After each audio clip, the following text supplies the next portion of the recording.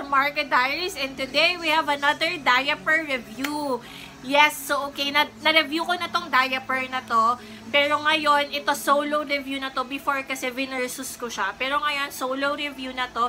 And guys, I'm here to tell you na bago yung packaging niya, bago yung um, mismong diaper niya, tapos bago yung formulation niya.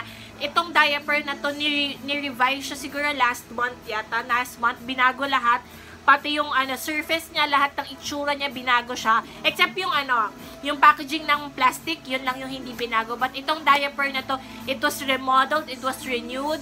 So, um, actually, hindi ako pinigyan nito because I'm not an ambassador of this brand.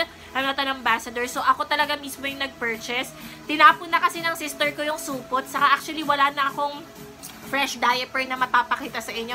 Pero I'm gonna show you kung ano yung last diaper namin ni Eraric using this. And actually, I'm here to tell you na sobrang naging okay siya sa akin compared dun sa old formulation.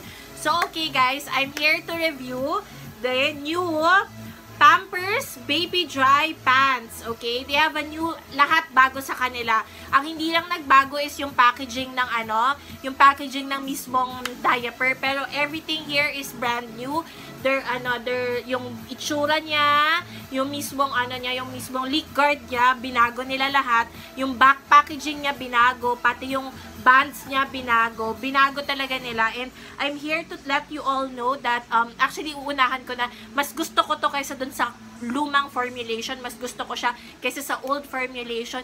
This is a brand that I didn't really quite like when Alaric was an infant, when Alaric was a newborn. I didn't really quite like this during that time. Pero itong nilabas nilang bagong pants nila, itong bagong pants, bagong design ng pants nila, this one I really like. As you can see, puno siya because sinoil na ni Alaric. Gusto ko kasi makita ninyo how durable it is para makita nyo, yes, it's heavy. This one, sinoil na siya ni Alaric. I want you guys to see the how durable it is. Saka lang, sobrang sleek na ng packaging niya. Maybe because ang dami-dami din comments about the last, uh, about the old, about the old design, about it being too saggy. Kasi saggy talaga ang Pampers because it's, ano eh, it's gel eh, gel type siya.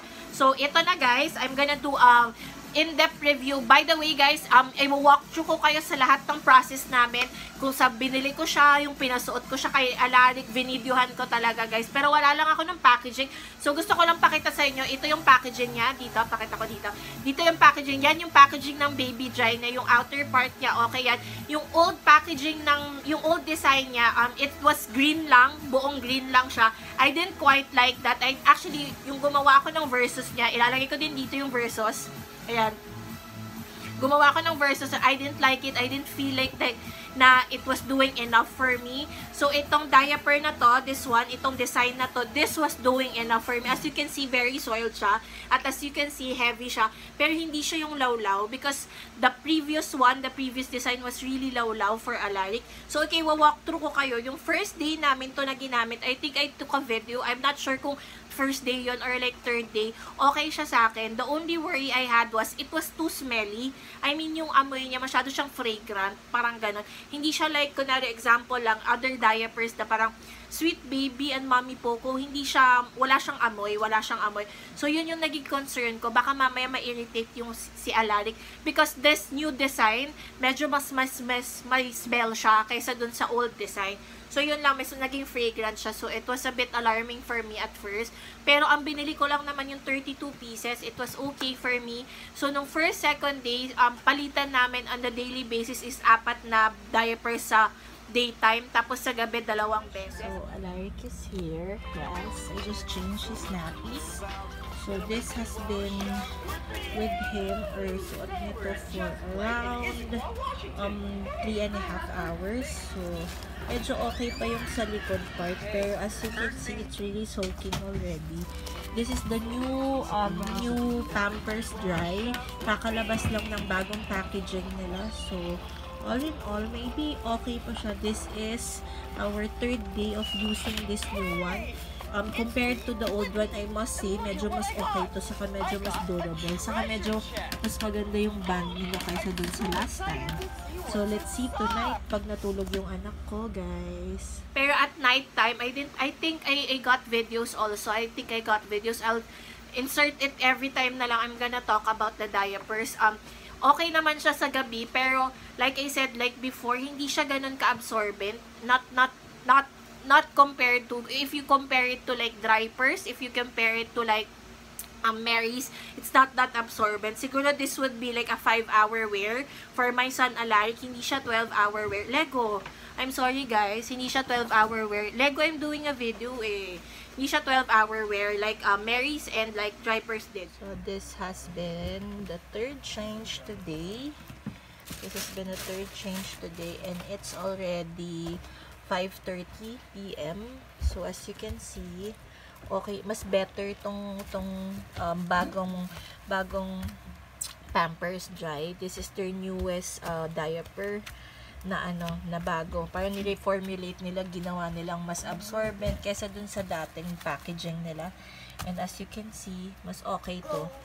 Alaric is here telling me that the diaper So, ayun lang guys, just an update. This is morning news ha. So, okay. The thing I like about this is, yung design niya, makikita mo na agad kung nasan yung front part. Lalo na sa katulad ko, malabo yung mata ko. Hindi ko siya agad makikita pag gabi. So, pag may nakita ka ng dark part, alam mo nang yun yung front. May nakasulat din kasi dun sa old design kasi niya, walang nakasulat. May nakasulat pala na front, pero hindi mo siya mapapansin kung saan yung harap, saan yung labas. So, ayan yung nagustuhan ko dito. So, some plus points na rin yan. Tapos, another cute design for me, another reason for me that I like this is, ngayon nilalagay na nila yung size. Ayan, nilalagay na nila yung size dun sa mismong diaper. Kasi may mga times, yung katulad dun sa old design, hindi na ilalagay. Okay, tapos, ito, ang um, sobrang compare, comparison ko dun sa old design, yung band nito, ang ganda na, huggable na yung band nito, saka makapal na siya para na siyang yung premium type. Doon kasi sa luma, sobrang kita mong manifest, tas hindi siya huggable. Ganon kasi yung style nun eh. If you know, if you know the old design, ganon yung style niya. So parang dito sa gitna yung hug, tas dito sa labas, yun yung ayun yung medyo maluwag. Pero dito, as you can see, maganda yung hug niya. Ito, nasuot na to ni Alaric eh. Maganda yung hug niya. So, I really, really like it. Tapos, makapal siya, guys. Makapal siya. So, parang, it's really movable. Nagagalaw-galaw siya ni Alaric all throughout. I really, really like this. Tapos, of course, mabilis siyang ma-tear. Ito natin, iti-tear natin sabay-sabay. Yan. Tear. Easy tear siya sa gilid. So, that's what another thing that I like about it. Dun sa luma kasi, para kasi siyang ano, um, woven type. Gets nyo? So, medyo ayoko siya dun sa type na yon dun sa side niya. So, this one, easy tear siya. Ayan. Sabay-sabay natin i-tear. Ayan. Easy tear siya. That's what I like. Tapos, as you can see, this is soiled. This is my son's ano, soiled diapers para makita ninyo. And guys, I'm here to tell you na it is really dry. Ayan. It is really dry. I really like it. Kuha tayo ng tissue. I really like it. Compared kasi dun sa luma, hindi ko siya masyadong gusto. So, let's get a tissue. This is really dry. Ayan. Yes, this is really dry. This is wiwi talaga. Hindi lang siya water talaga. See, this is really dry. I really like it. Kita nyo ba? Ayan. This is really, I really like it compared dun sa old design nila. Tapos guys, alam yung leak guard nito? Ayan. Kita niya may stain because of the wiwi. It's really good. The leak card of this is really good compared to the old design. So talagang nag-upgrade na sila. I don't know kung sa price, kung nagbago sila ng presyo. I think siguro nagbago sila ng presyo, tinaasan nila because the leak guard here, it's really good. Not compared to the old one. Si kita niyo may stain kasi may leak guard talaga siya. Sobrang okay to sa akin. Actually, I have nothing bad to say about this timer except that of course it's not a 12 hour wear. Pero saka yun nga yung fragrance niya. Pero guys all in all as you can see soiled na soiled ni Alaric, soiled na soiled to ni Alaric. Sobrang maganda to. For like everyday use, this is really good. The new design is really good. It's A++.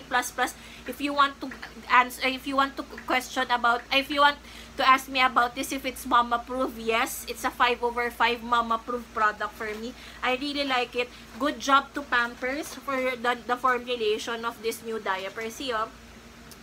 Good job of good job to Pampers for the formulation of this new design. Itong mismong design na to, sobrang okay sa akin to. Wala akong masabi. The absorbency is okay. Yun nga lang, like I said, it's not a 12-hour wear diaper. Okay sa akin to for everyday. So, simula ngayon, I'm gonna do like, uh, ano na, like parang a Pampers thingy na. Kasi, nag-change talaga sila ng design every few months.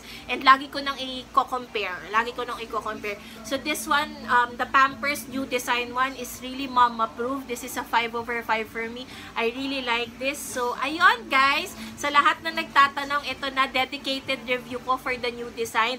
They came up with the new design last month yata. Last month nila nilabas yung new design and I really really like it guys. Thank you so much Pampers for doing this new design. Maganda siya. As in, I really like it talaga. Maganda din talaga yung gel formula. Yun na sila naman talaga ang nauna. Ang Pampers naman talaga ang nauna with the gel design. So, anyways, guys, this is Mom Approved. Don't forget to follow me here in, in, in don't forget to follow me in Instagram. It's Marga Diaries. Also in Facebook, it's Marga Diaries. And don't forget to watch me in Shopee Live every 2 to 3 p.m. Tuesdays to Saturdays. Thank you so much for tuning in. Don't forget to subscribe to my channel if you still want more diaper reviews. And this is Mama Fru. Bye guys! I love you guys so much. What else pala? O nga pala, ano pang mga diapers yung gusto nyong i-test out ko? Because this is the newest design from Pampers. Last month lang nila nilabas to and I really like it. Bye guys! I love you! Mwah, mwah, mwah.